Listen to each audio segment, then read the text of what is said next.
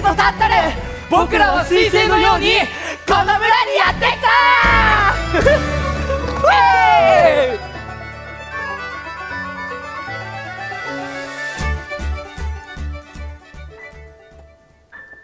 こ この村には本物の星はないけれどここに来れば亡き男が解説をしてくれる。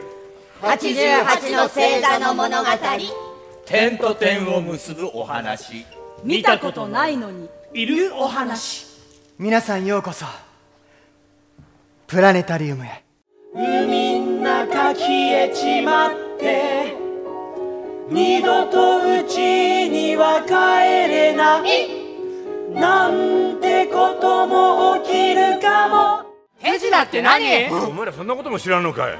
お女の胴体を電気のこぎりで切ったり馬に掛け算の問題を解かしたりするような芸だよ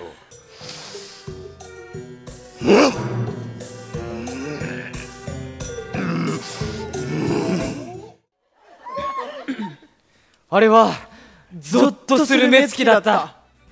そして5ミリ世界が歪む。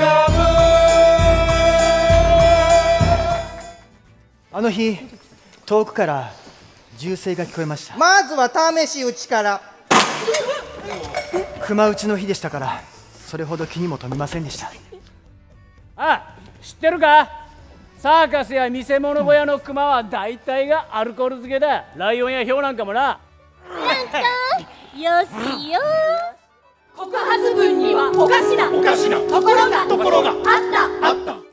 果てな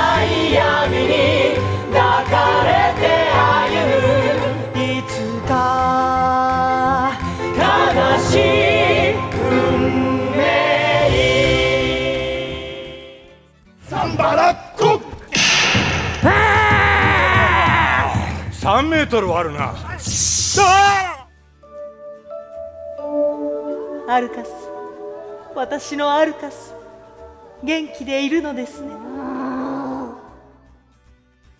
宇宙に存在するはずの物質の全質量をさまざまなデータから計測してみたところその数値が全ての銀河団に含まれる天体の総計と合わないことが分かったのです。こいつはすごいや一切飲むなとは言わんよ。ただあのウイスキーはただのウイスキーじゃない。毎晩飲まないと舞台に立てないのなら一座から出てってもらうほかない。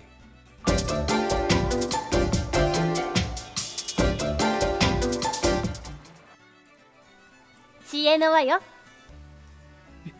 でも閉じちゃってるよ。そう見えてるだけ。これが外せるようになればあんたはどんなすごい念力だって使える？そう。奇跡だって起こせるようになるわ。本当かい？本当よ。魔法のリングよ。もしかしてあのお客さんにラブレターでももらった？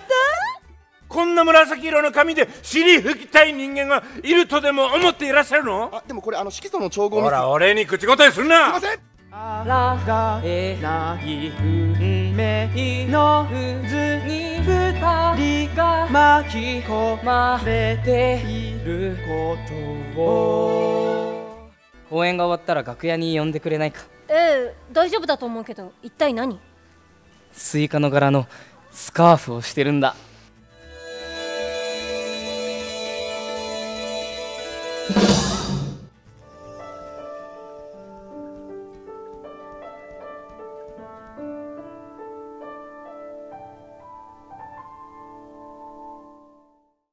お前自分が何をやっているかちゃんと分かってやっているんだな。お前さんのバカな行動も水の泡だ。ウサギが一羽死んじゃったんだ。何一つ間違っていない。母さん。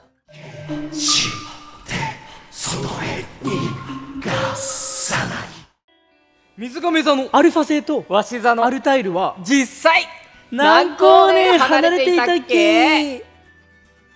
喉をこちょこちょしてほしいんだ。いいわよ。